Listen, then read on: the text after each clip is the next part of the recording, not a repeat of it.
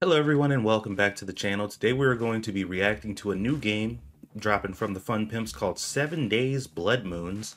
And um, I, I think I heard something about something like this coming out, but I don't I don't know what it could be. Apparently it's a new Seven Days game, so let's check it out, see what it's about.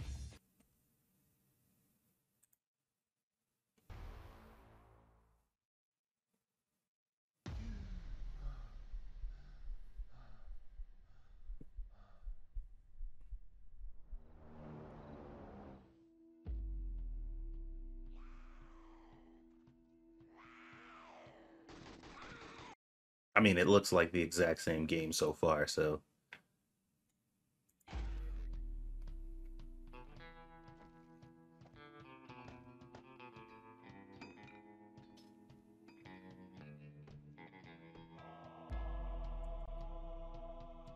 Oh, that's new. They were placing down like silhouettes for items and then building them later which is not something you can typically do in this game, or at least you couldn't do in the original seven days.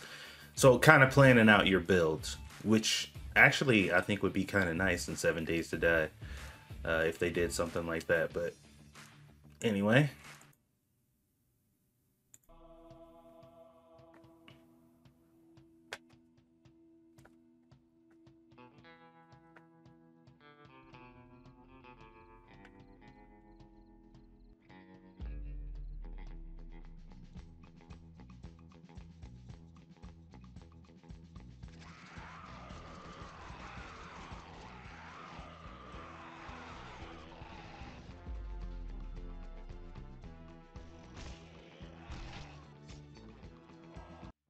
So far, I'm not seeing anything crazy different than what we're used to with this game. There was a, um, I think that was a wooden baton he was using before, which is new. I don't think I've ever seen a wooden one in this game, so maybe you can actually start by crafting one made out of wood yourself and then work your way up or something like that.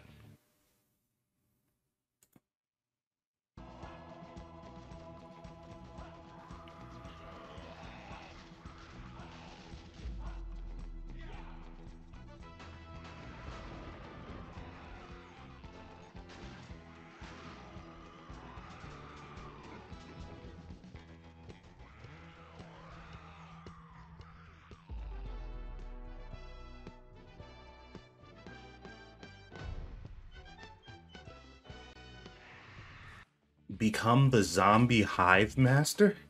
The fuck does that mean? Okay. What the hell? Oh, wait a minute. What?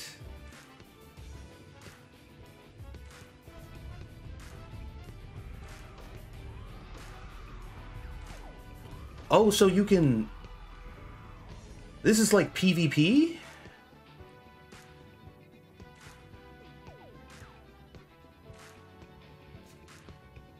What? Hold on. Okay. That's confusing. Alright, give me one second. Um, Seven Days Blood Moon is a 4v1 fight to the death. Survivors fortify bases and scavenge for materials in their plight against the relentless horde. The zombie hive master commands and possesses the horde. Oh, so this is like this is like Dead by Daylight and and uh maybe more so um like Resident Evil Resistance or whatever. Which if you guys know, that game was not received very well. Who wait a minute, who was asking for a PvP kind of game like this. Did anybody want this? I'm not like I'm not trying to be negative or whatever. Like it could be really fun, but like considering everybody's just really trying to get the console version working properly and make sure that the PC version is finally definitively what it's going to be, it seems kind of odd that this just came out of nowhere when I haven't heard anybody even remotely mention that they would like anything even close to this when it comes to Seven Days to Die. Maybe it's a market they're trying to just kind of capitalize on or something like that. I, I don't know. But this feels strange. I'm trying to figure out like how would this work? What kind of content could you create to to keep kind of prolonged interest in a mode like this. I don't know, man. I am not sure. Unless they plan on adding a substantial amount of like new traps and just ways to deal with the zombies and stuff like that. I don't know. This doesn't seem like it has a whole lot of staying power. It, it feels like one of those things that's just like, oh, that was cool for a while. Uh, back to what I actually want to play, you know? I don't know. That feels feels a little strange. But uh I don't know. I'll keep an eye on this as time goes on and we'll just kind of just be checking it out periodically to see what exactly this is supposed to be and who it's supposed to appeal to because I can't even find any information about it. The only like the Steam page is up and you can wish list it, but outside of that, if you search for this game on YouTube, you don't find nothing. So I am interested and also confused. So uh, yeah, we'll see. We'll see about this one.